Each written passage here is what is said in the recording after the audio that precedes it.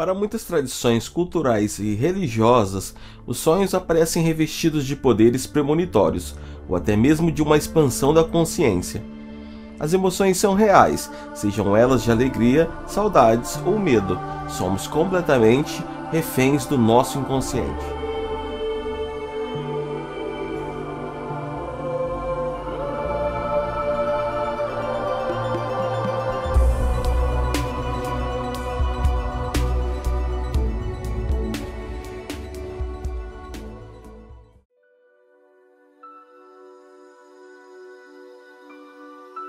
O sonho é uma experiência que possui significados distintos. Para a ciência, é uma experiência de imaginação do inconsciente durante nosso período de sono. Para a psicanálise, o sonho é o espaço para realizar desejos inconscientes reprimidos. O pesquisador e psiquiatra James Alan Robson considerou os sonhos como um mero subproduto da atividade cerebral noturna. Vamos explicar melhor. Existem duas fases do sono. A primeira é o sono de ondas lentas, em que a atividade do cérebro é baixa e por isso não se formam filmes em nossa mente, apenas pensamentos mais ou menos normais, que passam em uma espécie de tela escura em imagens. Já a segunda fase é considerada de alta atividade e é chamada de REM, uma sigla em inglês para movimento rápido dos olhos. E é durante a fase do REM que os sonhos ocorrem pelo menos nos adultos.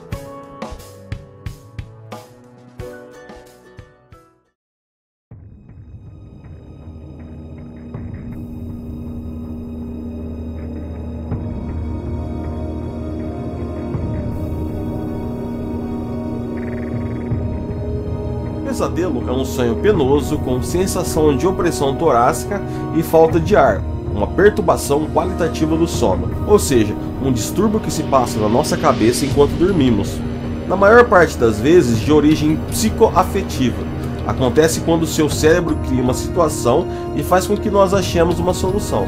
A palavra nightmare, que na língua inglesa significa pesadelo, dizia a respeito nos anos de 1600 exatamente de um demônio é, o tal do incubus, que vinha e sufocava as pessoas enquanto dormiam.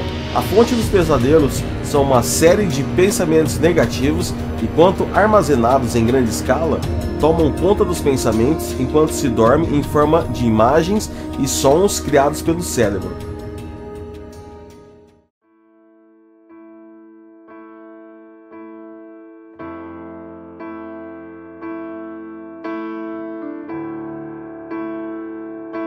Sonhos lúcidos é o termo que se refere à percepção consciente que temos de um determinado estado ou condição enquanto sonhamos, resultando em uma experiência na qual temos uma recordação muito clara e nítida, normalmente aparentando termos tido controle e capacidade direta sobre as nossas ações e o desenrolar do conteúdo do sonho. A experiência completa do início ao fim é chamada de sonho lúcido.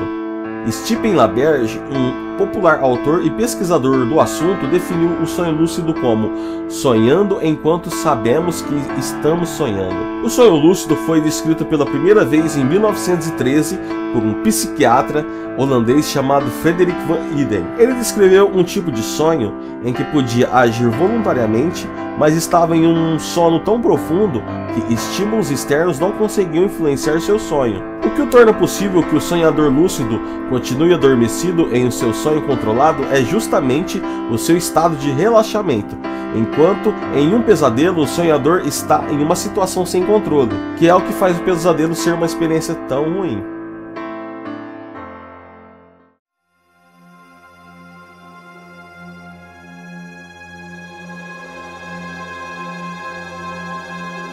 A paralisia do sono é uma condição caracterizada por uma paralisia temporária do corpo imediatamente após ao despertar, ou, com menos frequência, imediatamente antes de adormecer. Fisiologicamente, ela é diretamente relacionada à paralisia que ocorre como uma parte natural do sono REM. A paralisia do sono ocorre quando o cérebro acorda de um estado REM, mas a paralisia corporal persiste. Isso deixa a pessoa temporariamente incapaz de se mover, Além disso, o estado pode ser acompanhado por alucinações hipnagógicas, que inclui alucinações auditivas, visuais, táteis, olfativas e sinestésicas. Com frequência, a paralisia do sono é vista pela pessoa como nada mais do que um sonho. Isso explica muitos relatos de sonhos nos quais as pessoas se veem deitadas na cama e incapazes de se mover. As alucinações que podem acompanhar a paralisia do sono tornam mais prováveis que as pessoas que sofram do problema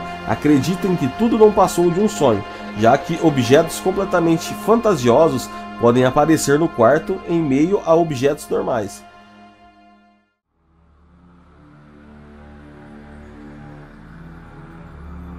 Concluindo, sonhos são cargas emocionais armazenadas no inconsciente, que projetam imagens e sons. Podemos, através deles, chegar à raiz, ou seja, as emoções que as geram.